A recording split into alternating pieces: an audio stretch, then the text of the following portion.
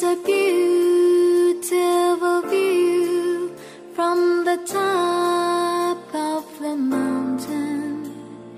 Every morning I walk towards the edge and throw little things off, like car parts and bottles and cutlery or whatever.